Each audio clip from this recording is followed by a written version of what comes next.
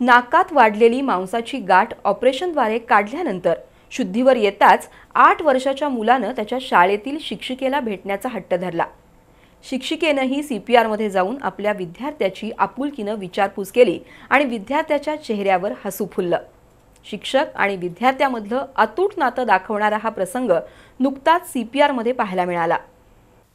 आई वडील आपले पहिले शिक्षक असतात. आणि शिक्षक आपले दुसरे पालक असतात असं नेहमी म्हटलं जातं. त्यामुळंच शिक्षक आणि विद्यार्थ्यांमध्ये अनोखे ऋणानुबंध निर्माण होतात. प्राथमिक शाळेत तर शिक्षक आणि विद्यार्थ्यांची गट्टीच जमते. आई वडिलांचं न ऐकणारी मुलं शिक्षकांसमोर आज्ञाधारकपणे वागतात. महानगरपालिकेच्या जरगनगर शाळेत असंच विद्यार्थी आणि शिक्षिकेमधील आपुलकीचं नातं पाहायला मिळालं. पाचगावच्या शांतीनगरमधील ओम अभिषेक पाटील या दुसरीत शिकणाऱ्या मुलाच्या नाकात मांस वाढलं होतं. गेल्या दोन वर्षापासून त्याला श्वसनाचा त्रास सुरू होता.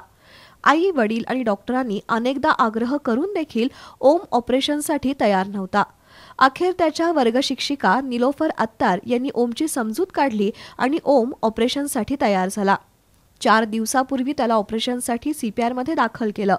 शुक्रवारी सकाळी डॉक्टरांनी शस्त्रक्रिया करून ओमच्या नाकात वाढलेली मांसाची गाठ काढली.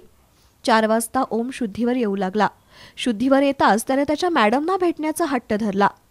आई वडील जवळ असतानाही त्याचा मॅडमना भेटण्याचा आग्रह सुरू होता. अखेर त्याच्या वडिलांनी फोनवरून निलोफर अत्तार यांच्याशी संपर्क साधला. ओमनंही त्याच्या मॅडमना भेटण्यासाठी बोलावलं. मोबाईलवर ओमचा रडवेला स्वर ऐकून शिक्षिकेला गलबलून आलं शाळा सुटताच त्या सीपीआरमध्ये पोहोचल्या मॅडमना पाहताच ओमच्या चेहऱ्यावर हसू फुललं.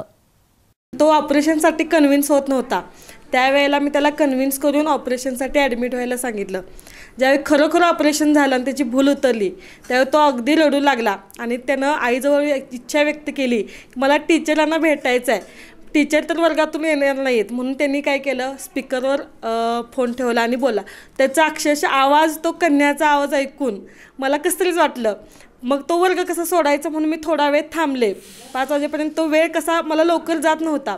आणि ज्यावेळेला पाच वाजले त्यावेळी पटकन गाडीवरून येऊन मी मी ओमला भेटले. आणि त्यावेळेला तो खरंच हसत होता. आणि मला खूप छान वाटलं की माझ्या येण्यामुळं तो ऑपरेशनला पण कन्व्हिन्स झाला.